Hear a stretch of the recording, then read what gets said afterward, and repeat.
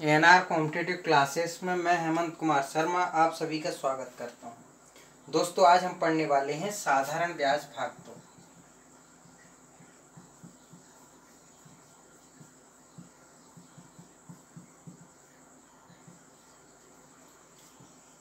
इससे पहले मैंने भाग एक पढ़ाया था, उसमें सारे फॉर्मूले बता दिए थे। अब भाग दो स्टार्ट करते हैं, पहला क्वेश्चन आज का। एक धनराशि बीस वर्ष में अपने की दो गुनी हो जाती है।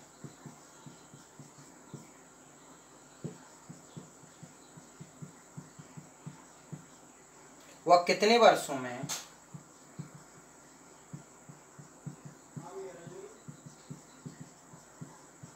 अपने की चार गुनी हो जाएगी।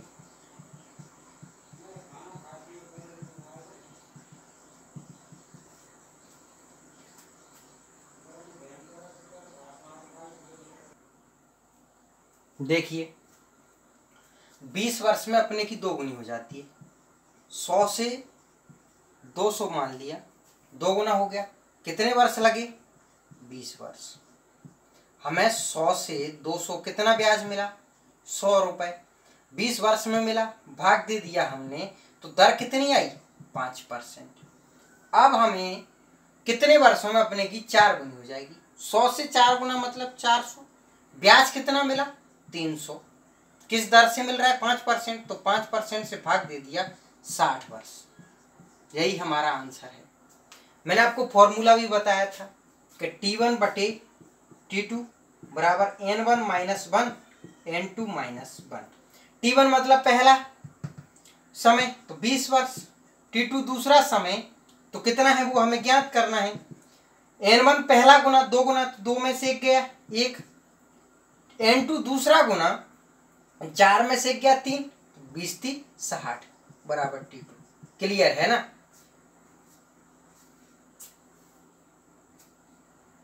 अगला क्वेश्चन देखो। ये गुना वाला एक मैंने पहले वीडियो में बता दिया था, ये ये बता दिए। काफ़ी है। ठीक है, और आप प्रैक्टिस कर लेना, जो नहीं बने, आप पूछ लेना।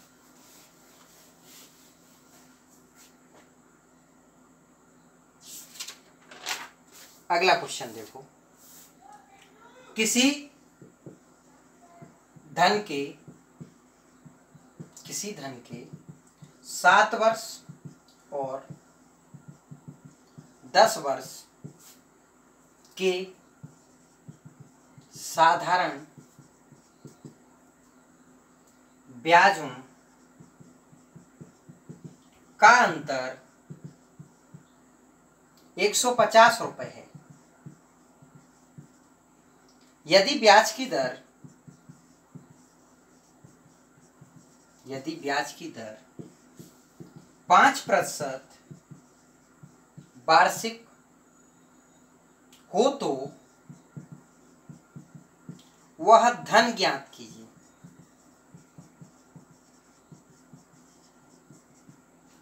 ठीक है?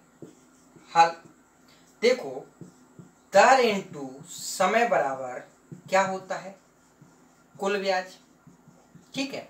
अब हमारे पास समय कितना है? सात वर्ष। आगे समय कितना है? दस वर्ष। ठीक है? अब दर कितनी है? पाँच परसेंट। पाँच परसेंट। यहाँ से सात पाँच, पैंतीस परसेंट ब्याज मिला और यहाँ से पचास परसेंट ब्याज मिला। यहाँ अंतर कितने का हो गया? पंद्रह परसेंट। जो हमें कितना दे रखा है? एक सौ पचास। क्लियर है ना? एक परसेंट कितना हो गया? एक सौ पचास बटे पंद्रह, हमें चाहिए सौ परसेंट। कितना आया? एक हज़ार रुपए। क्लियर है ना? ठीक है।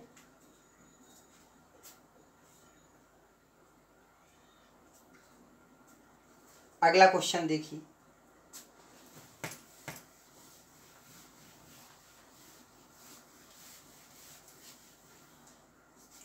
अगला क्वेश्चन है,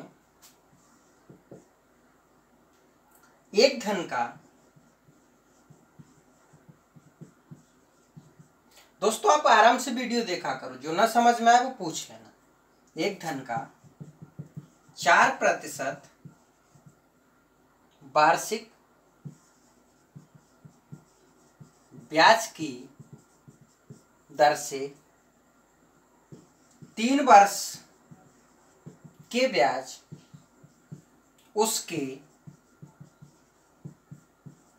पाँच वर्ष के ब्याज से चार सौ रुपये कम है। वह धन ज्ञात कीजिए। ठीक है, अब देखो, दर कितना है? चार परसेंट। समय कितना है? तीन वर्ष। तो कितना ब्याज मिला? बारह परसेंट। दर कितनी है? चार परसेंट। समय कितना है? पाँच वर्ष। तो ब्याज कितना मिला? बीस परसेंट। देखो, यहाँ पर कितना अंतर है? आठ परसेंट का। जो हमें कितना दे रखा है? चार सौ रुपये एक परसेंट कितना हो गया? चार सौ बटे आठ। हमें चाहिए हंड्रेड परसेंट। आठ पंच चालीस। पाँच हज़ार रुपये क्लियर है? यही हमारा मूलधन ठीक? अगला क्वेश्चन देखिए।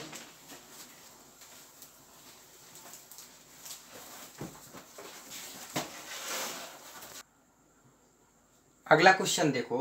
एक व्यक्ति ने बैंक से आठ हज़ार रुपए इस शर्त पर उधार लिए कि पहले पाँच वर्ष के लिए छह परसेंट, अगले तीन वर्ष के लिए आठ प्रतिशत तथा इसके बाद आठ वर्षों के लिए दस प्रतिशत वार्षिक ब्याज लगेगा। यदि वह बारह वर्ष के अंत में उधार लौटाए तो उसे कितना ब्याज देना होगा? अब आपको ये देखना है कि टोटल टाइम कितना दे रखा है, बारह वर्ष। ये ध्यान रखना है आपको। देखो, यहाँ पर लिखा है कि पहले पाँच वर्ष के लिए छह परसेंट, पाँच वर्ष के लिए छह परसेंट तो कितना परसेंट ब्याज दे दिया? तीस परसेंट।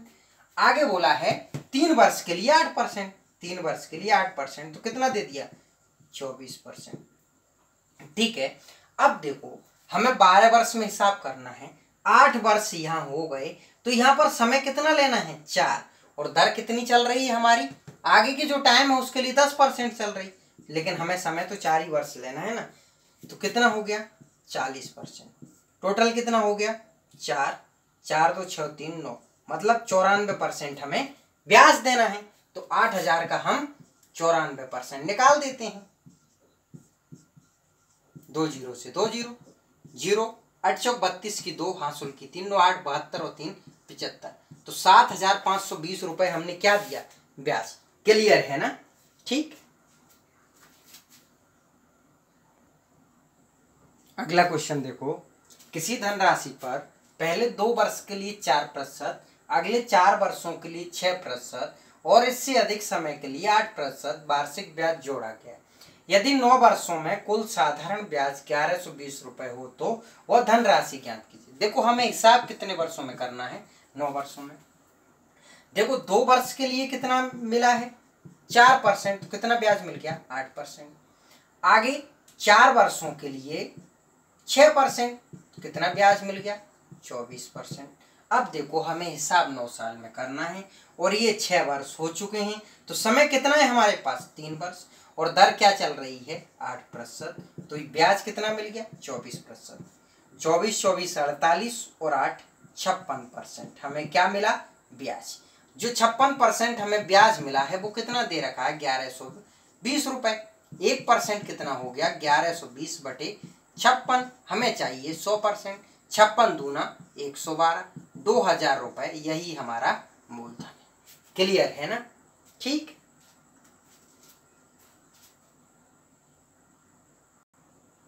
अगला क्वेश्चन देखो। गोपाल ने पाँच हज़ार रुपए, आंशिक रूप से चार प्रतिशत पाँच प्रतिशत वार्षिक दरों पर दो लोगों को उधार दिया।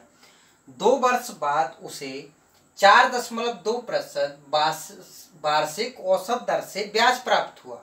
चार प्रतिशत की दर पर दिया गया धन ज्ञान कीजिए। देखो, जब हमारे पास तीन प्रतिशत हो तो हम मिश्रण से हल कर सकते हैं। कौन सी विधि से? मिश्रण की विधि से। पहला प्रतिशत यहाँ लिखते हैं, दूसरा प्रतिशत यहाँ लिखते हैं, और कुल टोटल प्रतिशत को बीच में लिखते हैं। ठीक है? अब इस तरीके से घटाते हैं। इधर से इधर और इधर से इधर। चार दशमलव दो में से चार गए तो कितना बचा? दशमलव दो। पाँच में से चार दशमलव दो गए तो कितना बचा? दशमलव आठ। दो एकम, दो दो चौक आठ तो किस अनुपात में पूंजी है? चार और एक के में है। देखो टोटल पैसा कितना है? पाँच हज़ार ठीक है? जिसके लिए निकालते हैं, उसके लिए गुणा कर देते हैं। चार चार और एक, पाँच। चार प्रतिशत का अनुपात कितना है? चार और पाँच प्रतिशत का अनुपात कितना है? एक। पाँच से पाँच कट गया। तो चार का एक हज़ार से गुणा किया तो चार हज़ार। अब इसी तरीके से एक के लिए निकालेंगे तो पाँच हज़ार गुणित एक बटे पाँच तो कितना आ गया? एक हज़ार। तो पाँच प्रतिशत की दर पर कितना धन है? एक हज़ार रुपए। और चार प्रतिशत की दर पर कितना धन है? चार हज़ार रुपए। क्लियर है? हमें चार प्रतिशत की दर पर ज्ञात करना था तो ये हमारा आंसर है। क्लियर है? जब हमारे पास तीन प्रतिशत होते हैं तो किस विधि से हल कर सकते हैं? मिश्रण की विधि से। ठीक?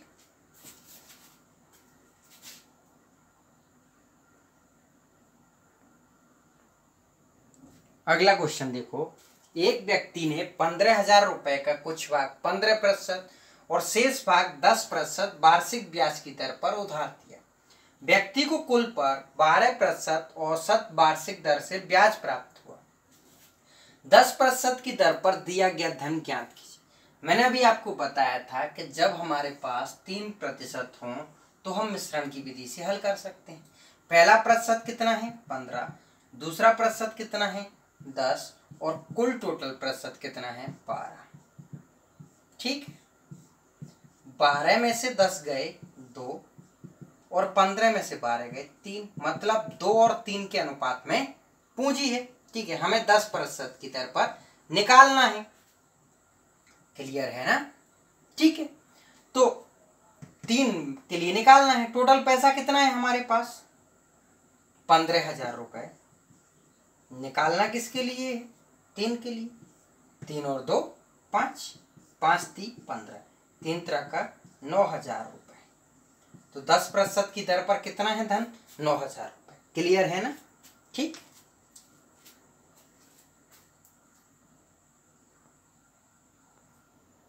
अगला क्वेश्चन देखो।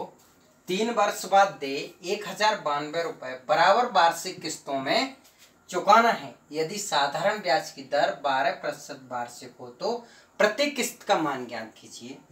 अब देखो, किस्त के लिए मैंने फॉर्मूला बताया था कि किस्त बराबर फॉर्मूला क्या होता है?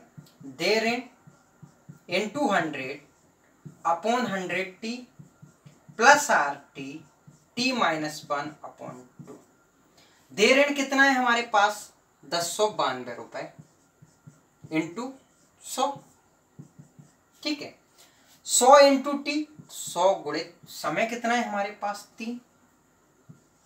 प्लस आर टी आर हमारे पास कितना है? बारह। और बारह का तीन से गुणा होगा तो छत्तीस। ठीक है? ब्रैकेट के अंदर टी कितना है? तीन। तीन में से एक जाएगा तो दो दो से दो कट जाएगा। कुछ नहीं तो एक बचा। क्लियर है? दस सौ बानवे गुड़ित सौ बटे सौ ती तीन सौ और छत्तीस तीन सौ छत्तीस। चार से काट दें तो पच्चीस बार। चार से काटा, चार आठ बत्तीस, एक बच गया चार चौक सोलह। बारह से काटा, बारह सत्ते चौरासी। बारह नम्मा एक सौ आठ और बारह कम बारह। सात से काटा तेरह बार। पच्चीस थी पिचहत्तर की पाँच हासुल की सात पच्चीस से कम पच्चीस और सात बत्तीस। तो तीन सौ पच्चीस रुपए हमारी क्या गई? किस्त यही हमारा आंसर है। क्लियर है? ठीक है।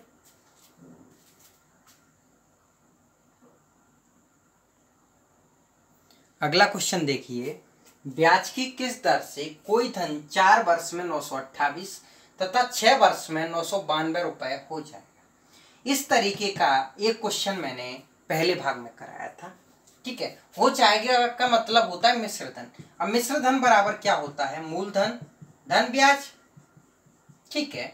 मतलब अब कितना हुआ है? नौ सौ अट्ठावीस रुपए मिश्र धन हो गया है। मतलब इसमें मूलधन होगा। और कितने वर्ष में हुआ है? चार वर्ष में तो चार वर्ष का ब्याज होगा। क्लियर है ना? अब नौ सौ बानवे रुपए हो जाता है तो इसमें मूलधन होगा और छह वर्ष का ब्याज होगा। ये हमारा समीकरण एक बन गया और ये हमारा दो बन गया। समीकरण दो में से एक को घटा देते हैं। छह साल में से, मूलधन से तो मूलधन खत्म हो गया। छह साल में से चार साल जाएँगे तो दो वर्ष का क्या बचा? ब्याज। बारह में से आठ गए, चार। नौ में से तीन गए, छह। चौसठ रुपए। दो से काट दिया, बत्तीस रुपए हमारा क्या आ गया? ब्याज। ये हम वैल्यू या तो यहाँ रख सकते हैं और या यहाँ रख सकते हैं। ठीक है तो नौ सौ बराबर मूलधन प्लस चार गुणित बत्तीस, ठीक है? नौ सौ अट्ठावीस, माइनस चार दूना आठ और चार ती बारह एक सौ अट्ठावीस रुपए।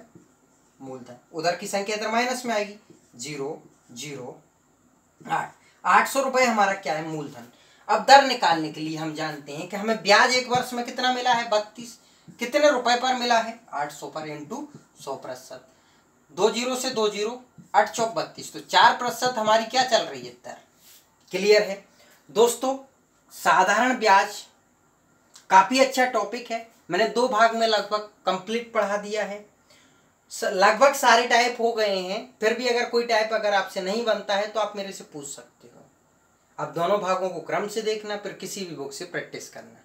दोस्तों, अगर आपको मेरे वीडियो पसंद आते हैं तो प्लीज़ चैनल को लाइक शेयर सब्सक्राइब ज़रूर किया करो। धन्यवाद।